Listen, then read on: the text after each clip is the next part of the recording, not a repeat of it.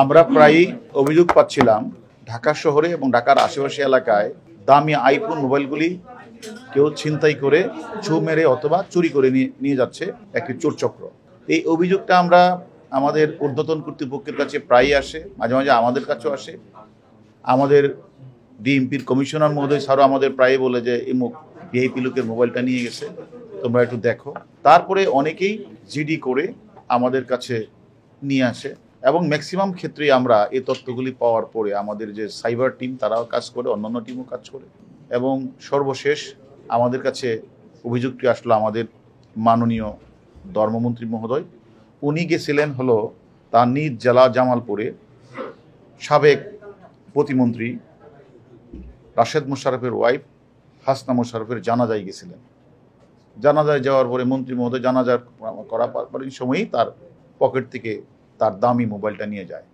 উনি আমাকে টেলিফোন করেছেন, আমাদের ঊর্ধ্বতন কর্তৃপক্ষ টেলিফোন করেছেন ওনার মোবাইলটা মধ্যে অনেক তথ্য ছিল, এটা নিয়ে গেছে এবং জিডি করা হয়েছে। সেই জিডির ভিত্তিতে আমাদের আমাদের যে DC, DB cyber special crime উত্তর বিভাগের যে তারেকের নেতৃত্বে তার যে টিম আছে, তারা সবাই মিলে কাজ করে এই মোবাইলটি তারা উদ্ধার করেছে মালয়েশিয়া থেকে। এবং আপনারা জানেন যে এই চোর চক্রের সদস্যরা তাদের আশিটা গ্রুপে বিভক্ত। একটি, এক পাঁচ সাতটা গ্রুপ হলো ঢাকাতে থাকে।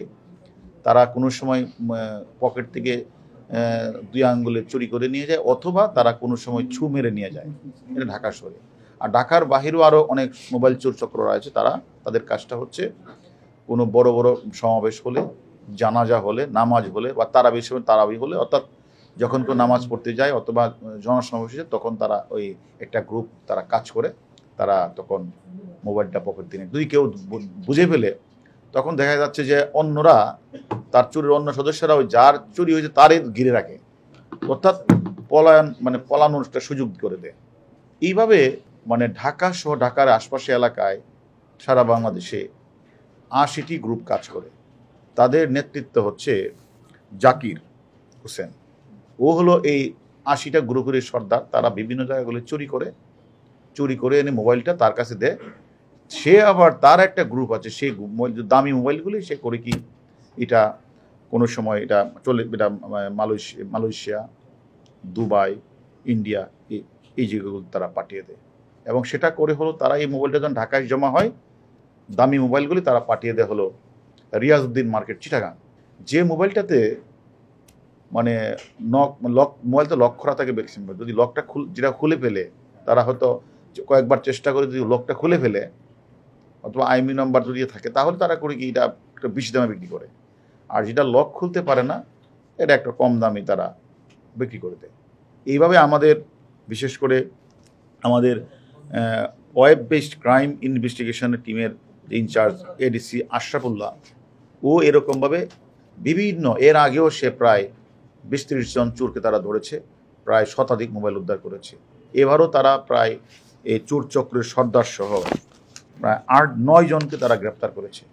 গ্রেপ্তার করে তাদের দেওয়া তথ্য মতে আমাদের মাননীয় মন্ত্রী মহোদয়ের মোবাইলটা তার পকেট থেকে চুরি করেছিল মুন্না।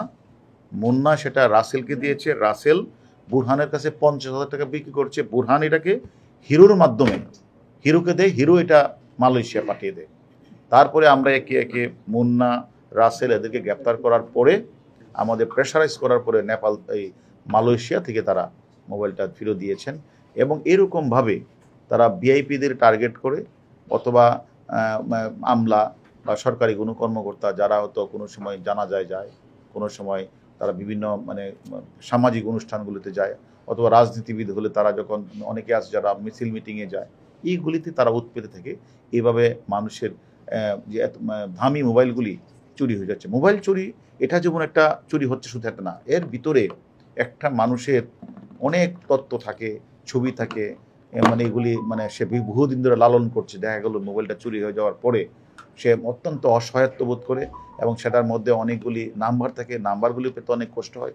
সব কিছু মিলেই আসলে আমরা এই যে আশিটা চোর চক্রের সন্ধান পেয়েছি তার সর্দার হলো জাকির জাকির জাকিরকে আমরা গ্রেপ্তার করেছি। তারা আমাদের কাছে স্বীকার করেছে যে আনুমানিক দশ হাজারের অধিক মোবাইল তারা এই বছরে তারা চুরি করেছে এবং তারা এই এবং এগুলি ম্যাক্সিমাম ক্ষেত্রে দামি মোবাইলগুলি তারা চিটাগাংয়ের রিয়াজউদ্দিন মার্কেট তারা এগুলি সাপ্লাই দিয়ে থাকে।